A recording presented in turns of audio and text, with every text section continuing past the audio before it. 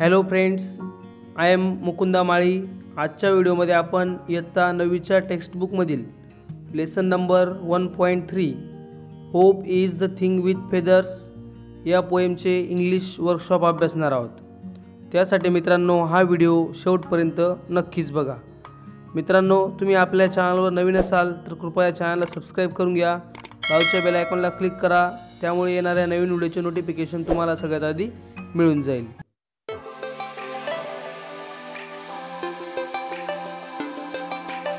Margin questions Think, discuss, and answer. What would be the hope bird's food? Can it live on without that food? Answer The hope bird's food would be crumb. According to the poet, the hope bird can live without food even in extreme weather condition and unknown land english workshop question number 1 match the following. खालील जोड्या जुळवा. Answer first yup second A third E fourth B last C. Question number two use the proper form of the verb in each line hope is the thing with feathers first that purchase in the soul second and sings the tune without the words last and never stops at all question number 3 read the examples and fill in the blanks in the same pattern a examples sweet sweeter, sweetest. या ठिकाणी आपल्याला काही positive डिग्रीची examples दिलेली आहेत. त्यांना आपल्याला comparative degree व superlative डिग्रीमध्ये लिहायचे आहे. त्यासाठी पहिल्या पॅटर्नमध्ये आपल्याला ई आर प्रत्यय लावून आपण त्यांना कम्पेरेटिव्ह डिग्री आणि ई एस टी प्रत्यय लावून सुपरलेटिव्ह डिग्रीज करणार आहोत. Answer fast faster fastest high higher highest great greater greatest warm warmer warmest slow slower slowest low lower lowest bright brighter brightest cold colder coldest B examples strange stranger strangest second पॅटर्नमधील शब्दांना already E e दिलेला असल्यामुळे फक्त R प्रत्यय लावून आपण comparative degree आणि S T प्रत्यय लावून आपण त्याचं superlative degree brave braver simple simpler simplest close closer closest fine finer finest large larger largest wise wiser wisest. C examples pretty prettier prettiest. या शब्दांमध्ये होणारा बदल कशा प्रकारे होतो ते आपल्याला व्यवस्थित लक्षात घ्यायचे आहे. Nasty nastier nastiest angry angrier angriest hungry hungrier hungriest naughty naughtier naughtiest question number four find the phrases and lines in the poem that mean the following A hope is a light delicate thing. Answer hope is the thing with feathers. B hope offers comfort to your soul. Answer that purchase in the soul. C hope is not a wordy thought. It is more like a feeling and emotion. Answer and sings the tune without the words. D. In the most difficult times, hope offers the greatest comfort. Answer. And sweetest in the gale is heard. E. Hope is not easily defected. Answer. And never stops at all. Yup. Hope has given comfort to many people.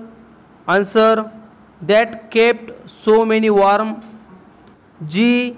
Hope lives on in very hard times, even when it gets nothing from you. Answer Yet never in extremity it asks a crumb of me. Question number 5 We can relate many of our feelings and experiences to events or things in nature. Which of our feelings or experiences can we relate to the following?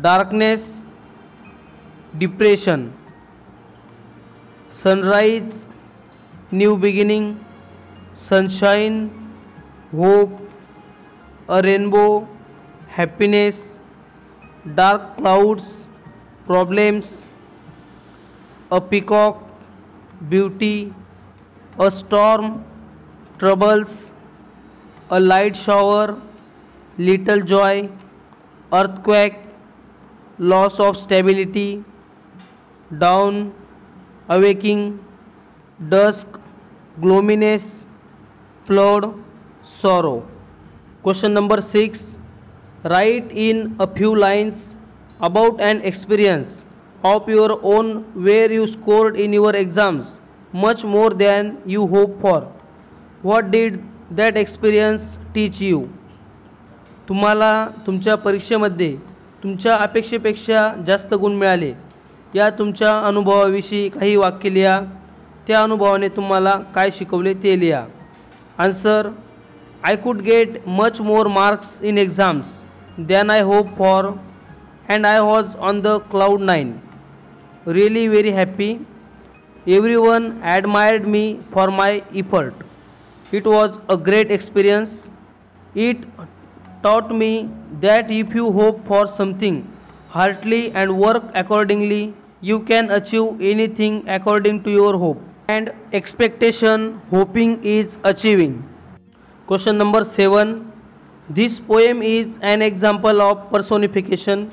When we refer to inanimate objects, ideas, emotions as living things, it is an example of personification. Here, hope is portrayed as a little bird. Describe it in your own words.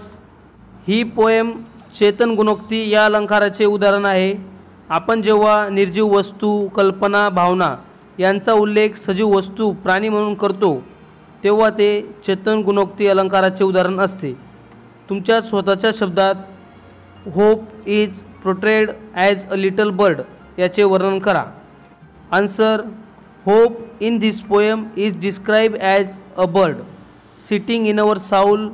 Here, hope is non living thing, but it is described as a living thing bird. Hope is represented here as a living thing, so it is the example of personification.